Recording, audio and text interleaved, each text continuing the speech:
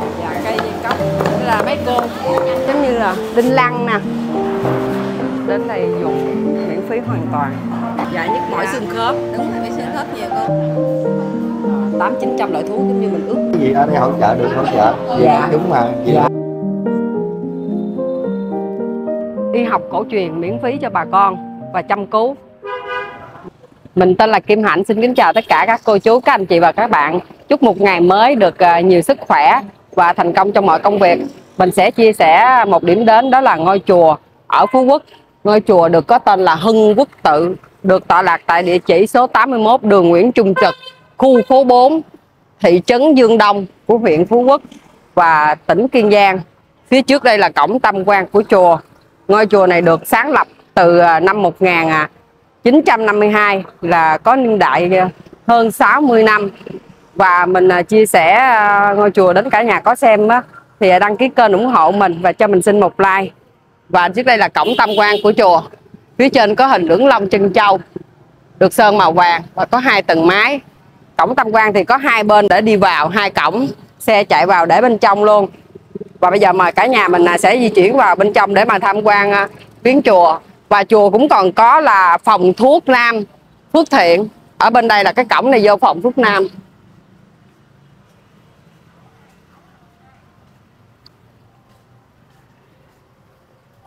và khi mình bước vào cổng tam quan á thì nơi đây à, ngoài trước á giữa sân á có tôn một pho tượng của Bồ Tát Quan Thế Âm.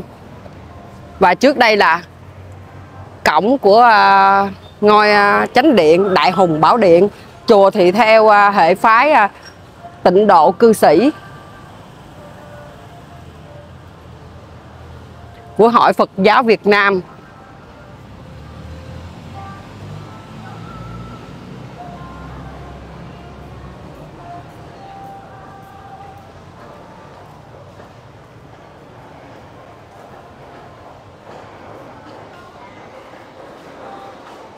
Và nơi đây để xe để mà khám à, bệnh, chữa bệnh khu này. Là phòng hốt thuốc nam ở đây là để ờ, hưng quốc tự phòng chẩn trị y học cổ truyền.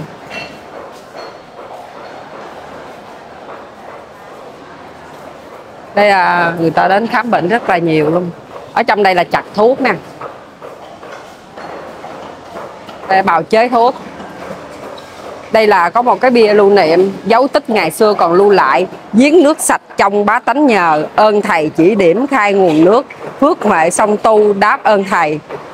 À, Nam Mô A Di Đà Phật năm 1952 cho đến 2023 và mình sẽ di chuyển vào bên đây để coi người ta chặt thuốc. Đây đó cái nắp giếng. Giếng giờ được làm bằng đá hoa cương hết. Đây người ta sẽ sắc thuốc dạ chào. Dạ chú cho con hỏi cây này là cây gì vậy chú này dạ chị cho em hỏi cây gì cây dây cốc? Gì là mình bây giờ là còn tươi mình sắc ra mình phơi á chị. Dạ. mình ờ, ai đâu thì thì mình cái này mình bây đi giờ dưới thuốc dạ. Ở đâu tới vậy dạ ở thành phố Hồ Chí Minh. Ở thành phố Hồ Chí Minh. Ngày nào cũng chặt thuốc về hết nóng luôn phải nóng là mình làm mà từ thiện hết hả chị? Từ thiện hết dạ. Dạ có cơm đường chùa có cho nãy cơm dạ. Không có lấy tiền gì hết. ờ, Chào đại ca. Dạ. chặt gì đó. Mà mấy cô lớn tuổi đều chặt hết. Mình quay cũng đều. Nói chị nói cây gì chị? Dây cốc dạ cây dây cốc là mấy cô. Chị ở à, phú quốc này luôn hả chị? Dạ phú quốc này. Ngày nào chị cũng đến đây hết. Ngày nào chị cũng đến đây hết. Mấy cô cũng đang chặt thuốc nè. Thuốc. Mà dạ à, mình qua đây mình coi các bạn làm thuốc.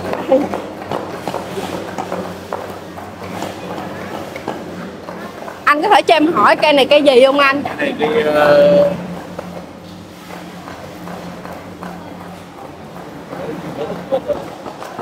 dâu hả vâng ạ. Cái mù xoa ken xoa trị gan. Cây này là trị gan. Gan xoa. Cây ăn xoa. Chị giờ bệnh gì vậy? Gan. Gan. Gan. Dạ. Giờ mình bây giờ mình tước lá mình bỏ vô máy mình cắt khúc ra đúng không anh? dạ. Đưa lên trên lầu nó phơi. Đưa lên trên lầu phơi. Phơi sạch sẽ luôn. Sưng hưởng dạ. à, cảm ơn anh. Cái gì cái gì em là bên kênh uh, youtube á là ai thích gì xem đó. Em quay uh, chùa truyền lịch sử rồi vậy đó. Đi vòng qua bên đây nè.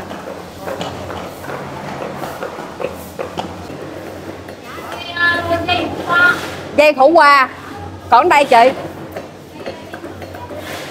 Cây mắc cỡ không? Hoa trinh nữ hoa trinh nữ đúng không? Dạ hoa trinh nữ. Mấy anh dạ cây mắc cỡ là hoa trinh nữ. Để bước vô đây thử. Bà cho con hỏi cây cốc này là là trị bệnh gì hả bà ha? Không biết trị bà, bà biết chặt thôi bà không biết bệnh gì. Dạ. Dạ vậy đó hả cô? Mình tiểu đường. Dạ hỏi thầy và đây à, là những cái tràng chùa đã mấy cô lớn tuổi nãy sắc thuốc á ra lên đây nồi bỏ lên đây là để phơi thuốc. Như mình biết được cái cây này là cây ngải cứu nè tại mình thấy mình biết ờ, quen thuộc. Đó, giống như là đinh lăng nè.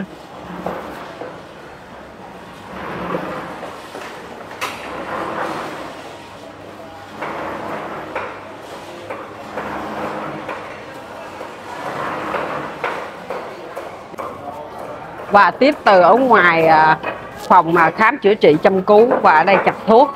Thì bên ở trong đây á, thì à, có có à, gian chai đường á, thì chùa cũng có cho ăn cơm chay miễn phí.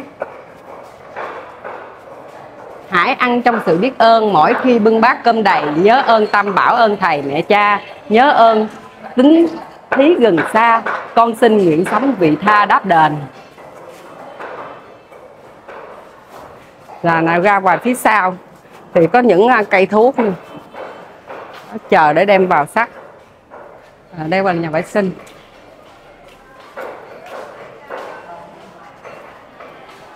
Đó chùa có dọn bàn sẵn cơm chay. Đây là những thức ăn nè, đồ xào canh chua rồi. Cho quý khách đến đây dùng miễn phí hoàn toàn.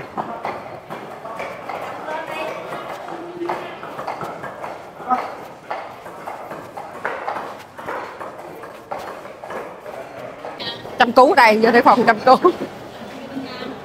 Thời gian à, làm việc chăm cứu thì à, sáng từ 7 giờ đến 11 giờ, chiều thì nghỉ, ngày nghỉ thì chủ nhật, mùng 1 và ngày rằm. Còn à, những cái mà phương thức mà để chăm cứu kiên cử là phải ăn sáng trước khi chăm cứu, sau khi chăm cứu 4 giờ mới được tắm. Mà kiên cử là thịt bò, thịt gà, đồ phong, mắm các loại và hành phòng đây là nơi cái này là chị cho em hỏi cái này là bóc số hay sao chị? Không cái này mình vô mình đăng ký xong rồi mình ghi tên rồi mình có cái ở đây ta cho mình một miếng thẻ này nè. Thẻ. à, chỉ mình vô là mình đưa miếng thẻ rồi mọi người ở đây sẽ tìm hộp kim cho mình rồi để đây cho mình như vậy nè rồi khi xong hết thì kêu từ đó chở ra đây. Dạ. Để lần mình vô mình chăm.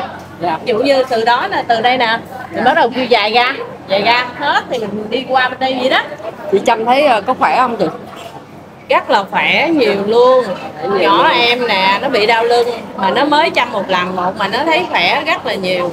Đây là chùa miễn phí hết hoàn toàn miễn phí hết hoàn rồi toàn. ai muốn cúng dường thì tùy tâm của mình. Tùy tâm có Dạ. bao nhiêu thì cúng bao nhiêu. Bấy nhiêu Đúng rồi dạ. thì hầu như ngày nào cũng làm việc là chị, ngày nào cũng làm việc chỉ ngày chủ nhật là không làm. Chị có thể cho em hỏi chị ờ, đến từ đâu không? Giờ em thì ở gạch giá nhưng mà em qua đây em làm bên đây. Dạ. chị làm bên đây Dạ, dạ. giờ ví dụ ai bệnh thì mình hướng dẫn mình chỉ cho người ta biết. Dạ. Cảm ơn chị. Để chúc chị cũng được nhiều sức khỏe. Mau hết bệnh nha chị nha. Cảm ơn dạ. Cô. À, chào cô. Có thể cho em hỏi thêm cô chia sẻ thêm chút nha cô. Để cho ừ, với quý khách đồ á mà những người bệnh nhân người ta có thể biết thêm hiểu thêm á. À, thí dụ ở đây là mình mình chăm cứu về về những bệnh gì ha cô ha? Ừ ở đây thì người ta nhức mỏi là nhiều dạ nhức mỏi Dạ. xương khớp đúng rồi bị xương Dạ. khớp nhiều cô là kim của mình tự mua hay là ở trong đây có luôn dạ không? trong đây mua rồi chăm cho bệnh nhân chứ không có bệnh nhân không không có mua kim. không có tốn tiền hả Dạ phải không. mua kim nhưng mà nhưng mà bộ kim đó là mình sử dụng cho một bệnh nhân đó hay là để sử dụng cho nhiều bệnh nhân một bệnh nhân là một một, một bộ bộ kim Một là bộ kim. sẽ có ờ, cái tên tên, của cái người đó dạ. Ờ, ở đó năm chứ xanh không có xài chung không xài chung mà Dạ. bệnh nhân cũng phải không phải để mất tiền mua bộ kim dạ đúng rồi dạ, đúng dạ. Rồi. Dạ, cảm ơn cô nhiều cảm ơn cô đã chia sẻ. Dạ. là là để cho cả nhà được hiểu thêm là coi như là kim của à, bệnh nhân nào thì chùa sẽ lưu giữ lại đó để mà xài. Dạ. Một tuần thay lần hả cô? Không có sử dụng chung nên là cả nhà cứ yên tâm. Mà mình cũng không phải mất phí để mua kim. Cho những người mà có bệnh á, thì không có điều kiện không có tiền á, thì sẽ đến chùa này. Còn khi nào mình khỏe bệnh ví dụ mình có điều kiện thì mình cúng dường tùy mình tùy cái tâm của mình thôi và đây cũng mấy cô đây cũng đi nhiều. Cô cho câu hỏi cô ở à, phú quốc này luôn hả cô? Dạ ở đây phú quốc luôn thì nó cũng tiện ha cô ha. Dạ cũng mấy cô được mau hết bệnh nha cô. Khỏe. Bên đây là nam dạ bên đây nữa nè.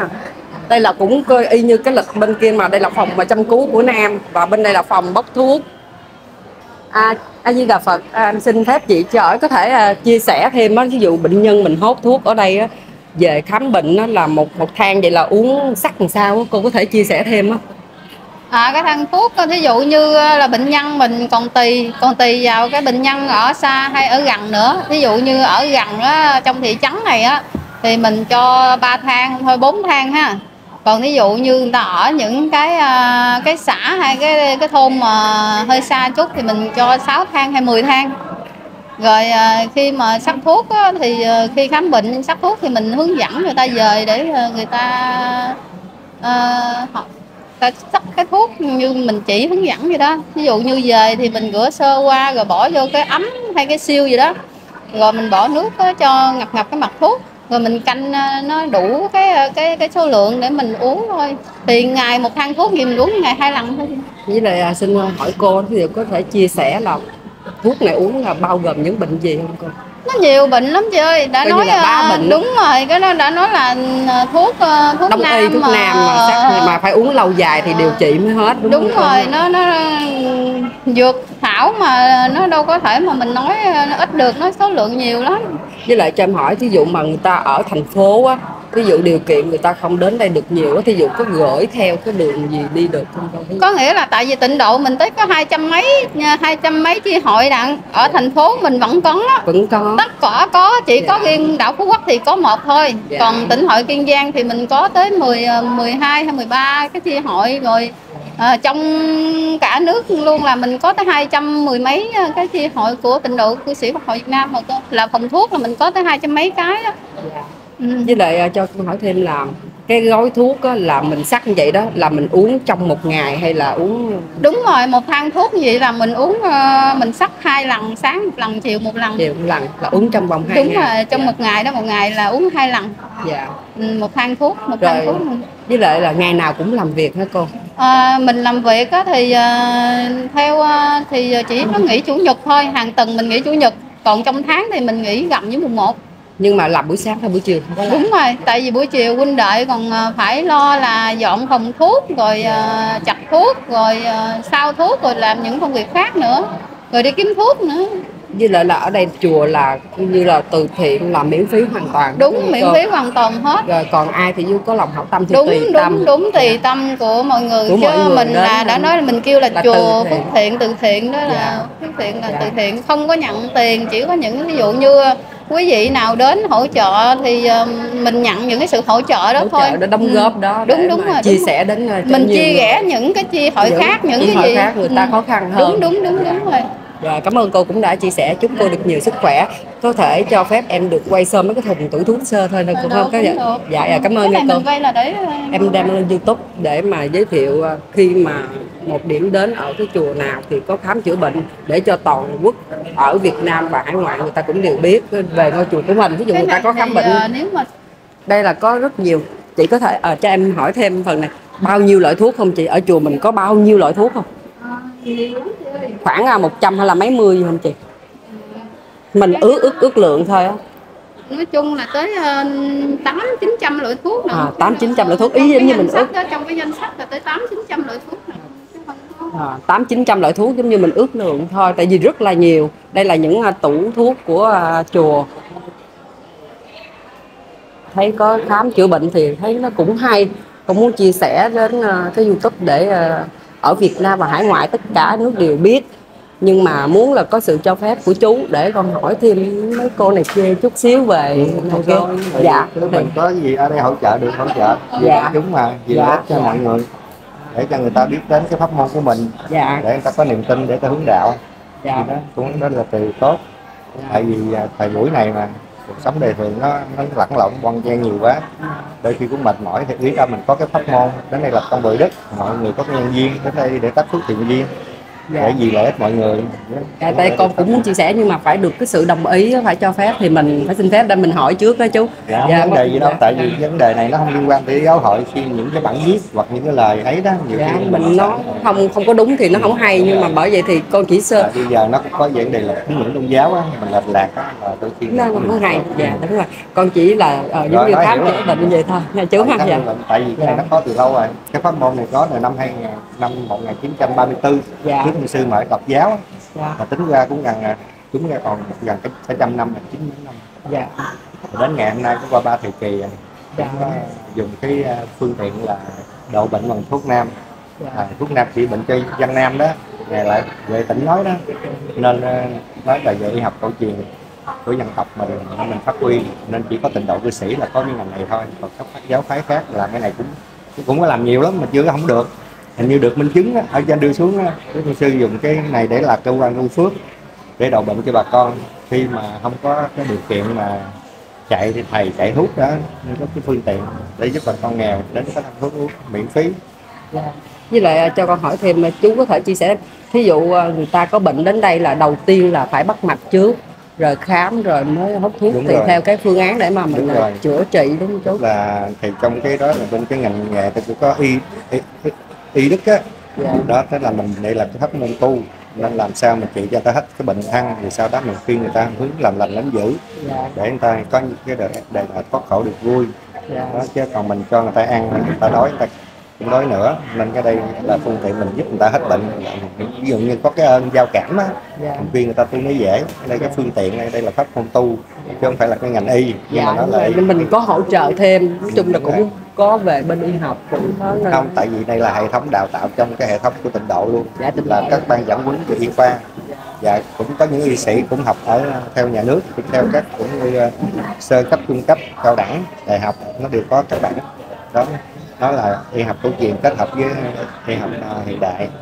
Tại thầy buổi này bây giờ cái bệnh tật nó trăm trăm trạng bệnh nhiều lắm ngày xưa hết nên bây giờ phải chạy theo khoa học hiện đại. Đó về lâm sàng mình cũng có đôi khi dựa theo lâm sàng. Rồi mình chẩn đoán bệnh sau đó mình lập phương kiến chứng cái là mình thấy được triệu chứng bệnh rồi sao điều trị. Thì theo phương thức gì à, chú có thể chia sẻ thêm về tí xíu nữa thôi con được phép hỏi là giống như cái nguồn thuốc đó, mình có từ đâu để mà mình cung cấp nguồn thuốc á, nguồn thuốc thì Dạ. đa số là hầu như là 90 trăm là trong thiên nhiên có sẵn. Tức là có những cây thuốc đồng tức là ở trong đồng á trong Dạ. vườn á. Thứ hai nữa là ở trên núi là thuốc núi là tính dưỡng thuốc núi thổ dưỡng nó mạnh lắm. Nên thiên nhiên nó có sẵn. Dù mình lên núi thì mình kết hợp với mấy anh kiểm lâm á mình xin có hỗ trợ cho mình. Thì tất cả những người công quả phát tâm ngày chủ nhật á thì à, đi khoảng 30 30 10 để lên trên à, bữa nay phòng thuốc thiếu cái gì, thì lúc đó mình mới báo với cái ban sưu tầm thuốc, có cái ban sưu tầm thuốc, là ngày chủ nhật là ban sưu tầm thuốc cùng với y sĩ đi lên là thiếu cây gì mình đi, mình lấy cây đó về. Sau đó mình chặt nhỏ rồi phơi, rồi sao rồi sàn làm cái thuốc sạch lại, rồi sau đó mình mới đưa lên phòng thuốc. Cho bệnh nhân sử dụng. Để với lại chú có thể chia sẻ thêm ví dụ ở đây mình trị bệnh là bao gồm bệnh gì mà ví dụ là mình ước tính thôi. Bình bình luôn là bao nhiêu loại thuốc? Nếu trong thuốc thì nhưng phòng thuốc này là từ giá 40 vị trở lên. Ừ, nhưng tại vì có những gì trùng lập trùng hợp với nhau. Dạ. ví dụ cũng là trị bệnh về nhức mỏi đau lưng nhưng mà nó cái chứng dụ nó khác nhau. Nó có thể là hoặc là hàng lấy nhức mỏi hay là nó nóng nhức mỏi. Nó hay là do bị viêm nhiễm. Nó gì đó nó có nhiều cái là trạng bệnh. Ta Dạ. kêu là nguồn gốc phát sinh bệnh nó thì mình mới lập phương kiến và mình mới Điều trị. đó như thuốc ví dụ nó có bốn vị cũng một một đặc tính như nhau. Ví dụ như mà này có thể nó dùng cho người bị huyết cái hàng nó không thông nó nhức còn người kia nó nóng quá nó bị viêm thứ nhất đó thì đến dược nó cũng trùng giống giống nhau nên có thể thay thế nhau được. Như vậy. Còn à, về phương án con thấy có chăm cứu á chú? Ừ, Là- thuốc chăm cứu là trị bệnh không thu dùng thuốc. Không dùng thuốc. Ừ, tức là khi mà cái kinh mạch mình nó nó chạy tức là thông thì bắt thống thống tức là đau. Thông thì nó không đau mà nó không thông thì nó đau nên do những người ta nặng do để người ta dùng à, tiếp xúc với nước nhiều ha rồi cái, cái, cái huyết nó bị lạnh đó, nên nó hay tích tụ lại. Dạ. nên nó tắc nghẽn kinh mạch nó làm máu huyết mình nó không đến đó, nó sẽ bị tê nhất. Nên dùng phương pháp chăm cứu là mình kích trực tiếp mình gắm điện vô cho nó kích cho nó thông cái kinh mạch nó thì lúc đó nó giảm đau liền. Vừa đang nhất chăm vô là hết liền. Nhưng mà cái đó là chỉ nhất thời thôi. Rồi sau đó mình dùng cái thuốc nam mình uống vô là kêu là vừa cho nó thông mà uống thuốc thì nó sẽ kết quả hơn. Nên châm cứu mà kết hợp với nam dược thì tuyệt vời. Đó, dùng thuốc nam uống rất là chậm nhưng nó chỉ gốc nó hết là hết luôn. Còn như thuốc tây thì nó chỉ ngọn thôi. Cái nào nó nhất thì uống cho nó hết liền nhưng mà nó sẽ trở lại. Còn thuốc nam nó uống gấp từ từ nhưng mà khi mà hết là hết hẳn luôn. Dạ, cảm ơn chú cũng đã chia sẻ đến cho cộng đồng và những du khách và Phật tử và tất cả các bệnh nhân trong nước và tất cả ngoài nước để mà biết đến ngôi chùa và những cái phương án về thuốc để trị bệnh chú đã chia sẻ vừa qua thì con ờ, cũng chúc chú được nhiều sức khỏe để mà có Dạ, nhiều cô. thực sự hơn Rồi, để mà cho cô, những à, nhiều sức khỏe nhiều niềm vui thành tựu trong cuộc sống cũng như trên cái như tâm ước sự thành ha Dạ. ước nguyện cho mọi người hiểu đến cái đạo hiểu đến những cái điều có ích cho xã hội và mình đại chúng thì cho mọi người hướng về cái thiện cái lành để con người được an vui thì cũng chúc gia đình con cũng thành công cuộc sống. Dạ cảm ơn chú.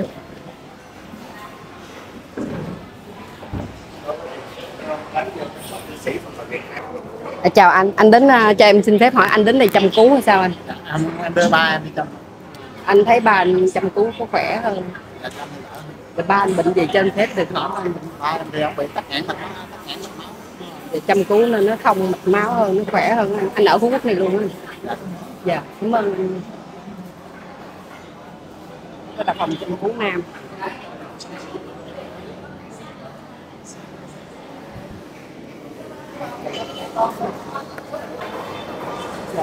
đây. và bên đây thì à, du khách người ta sẽ ngồi à, chờ để mà à, vào khám bệnh và chăm cứu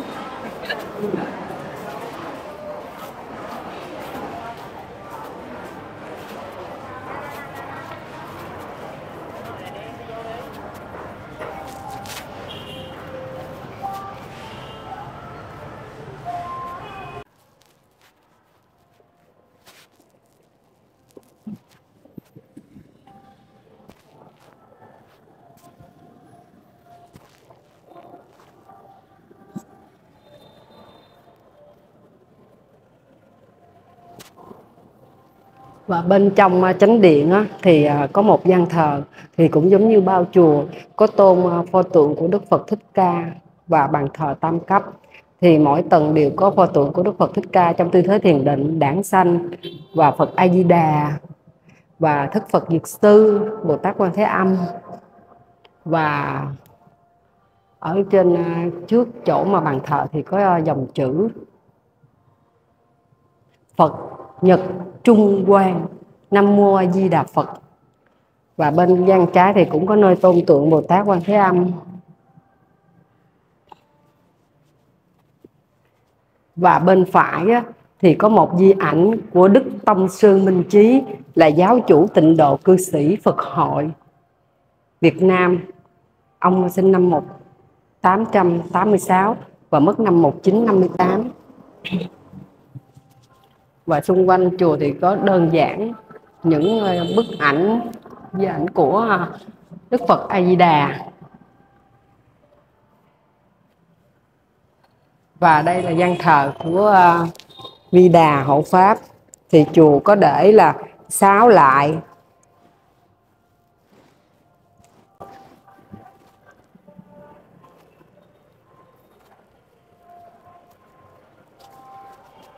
mình cũng uh, có mặt hồi nãy giờ để mà quay chia sẻ ngôi chùa ở um, ngôi chùa được là Hưng Quốc Tự ở uh, đảo Phú Quốc này để mà chia sẻ đến cả nhà nè.